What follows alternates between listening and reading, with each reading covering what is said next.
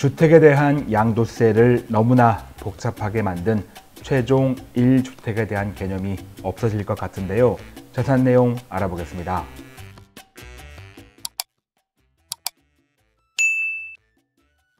네, 안녕하세요. 박찬웅의 부동산 쇼 부자남 박찬웅입니다.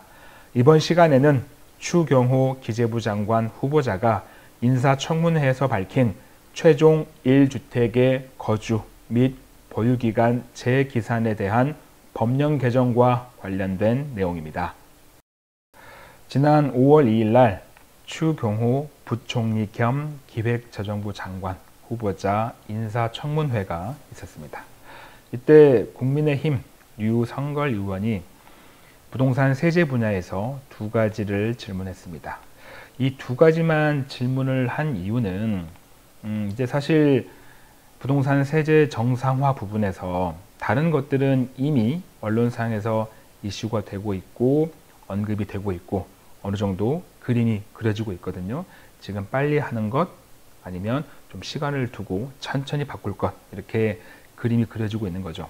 뭐 예를 들어본다면 임대차 3법에 대해서 폐지할지 수정할지 아니면 유지할지 이런 부분들 그리고 주택임대 사업자 제도를 조금 더 확대시키는 것 다시 부활시키는 부분 그리고 이제 종합부동산세 과세 체계 부분 그리고 주택담보대출을 완화시켜주는 것 자, 이런 것들은 윤석열 당선인이 공약으로 내세웠던 것들이라 이미 언론상에서 이슈가 되고 있고 어느 정도 그림이 그려지고 있는데 이제 좀 이슈가 되지 않았던 하지만 꼭 필요한 그 두 가지를 유성걸 의원이 질문을 하게 된 겁니다.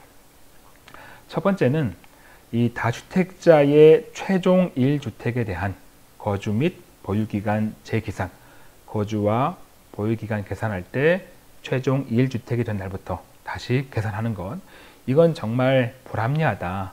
그래서 여기에 대해서 후보자는 어떻게 생각하고 있고 과연 바꿀 생각이 있는 것이냐 라고 물어봤었고요. 또 한 가지는 조정 대상 지역의 주택을 가지고 있으면서 새롭게 다시 조정 대상 지역의 주택을 취득해서 그래서 일시적 2주택이 됐다면 이때 이 일시적 2주택에 의한 양도세 비과세를 적용받으려면 신규 주택을 취득한 날로부터 1년 이내에 종전주택을 양도해야 되고요.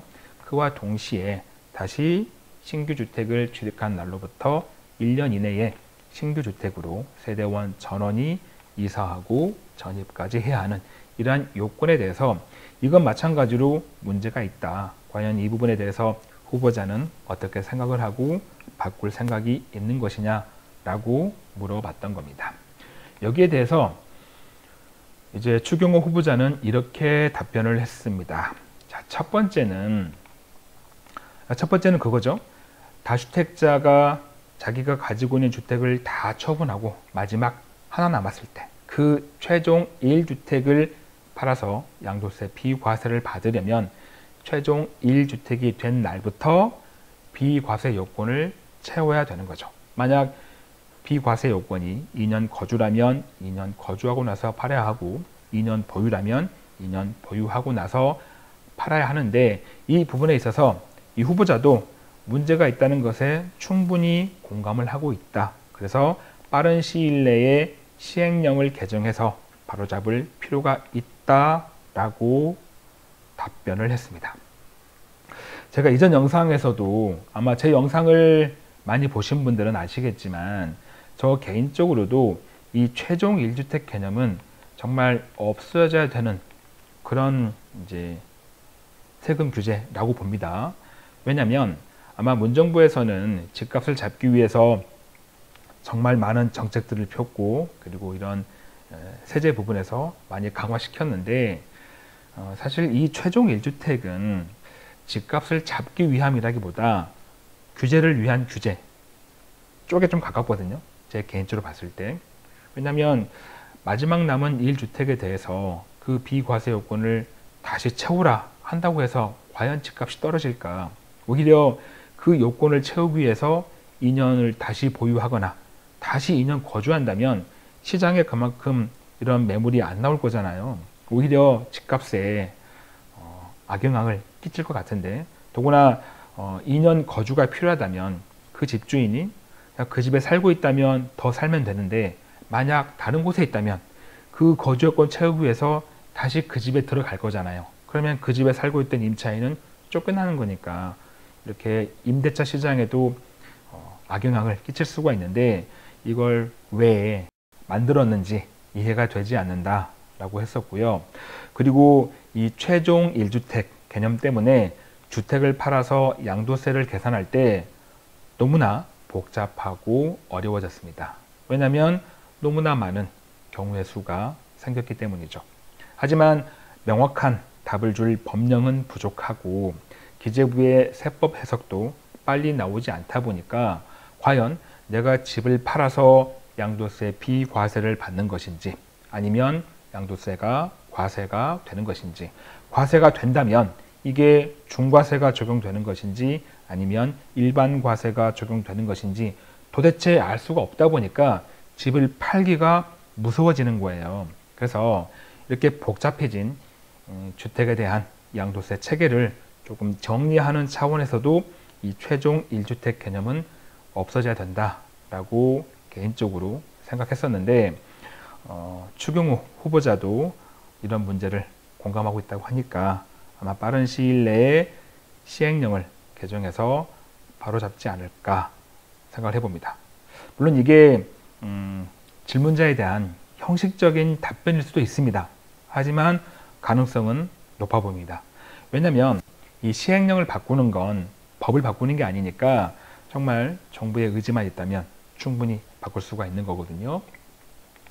어, 그 시행령은 어, 제가 한번 보여드릴 텐데 이제 소득세법 시행령 154조 제5항에 나와 있습니다. 제1항에 따른 보유기간 계산은 1항이라 하면 이제 1주택에 어, 대한 양도세 비과세를 말합니다. 그 비과세 판정할 때 보유기간의 계산은 이제 94조 제4항에 따른다. 법. 이건 이제 어, 취득부터 양도까지를 말합니다. 다만 여기 단서가 붙어 있죠. 2주택 이상을 보유한 1세대가 1주택 외에 주택을 모두 처분한 경우에는 처분 후 1주택을 보유하게 된 날부터 계산한다 라고 되어 있죠. 그래서 이거는 이제 시행령에 규정이 되어 있다 보니까 이 내용을 네. 그러니까 다만 단서 부분 있죠. 이 내용을 없애버리면 다시 예전처럼 취득할 때부터 양도할 때까지 돌아가는 거니까 이건 그렇게 어렵지 않게 바꿀 수가 있는 거라서 어, 정말 정부의 의지만 있다면 빠른 시간 내에 어, 없어지지 않을까 싶습니다.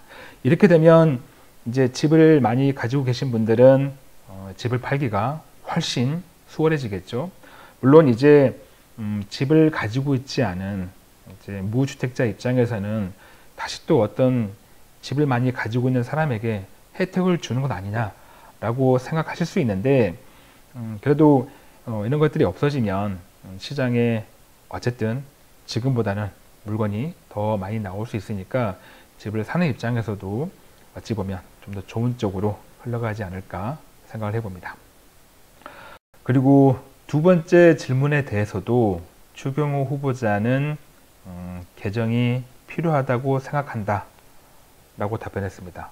사실 1년 내에 팔고 1년 내에 전입하는 것 세대원 전원이 어, 그렇죠 문제가 있습니다 분명히 그런데 이제 이 답을 할때 어, 제가 방송을 좀 봤었는데 음, 후보자가 좀 약간은 형식적인 답변의 느낌이 들었거든요. 개인적으로는. 그래서 이제 이거는 어떻게 바뀔지는 실제로 좀 지켜봐야 할 것 같습니다.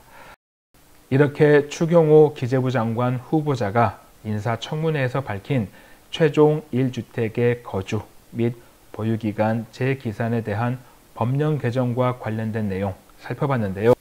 여러분도 잘 아시는 것처럼 부동산 세제는 너무나 복잡하게 얽혀 있습니다. 그래서 이걸 푸는 게 쉽지 않을 거예요.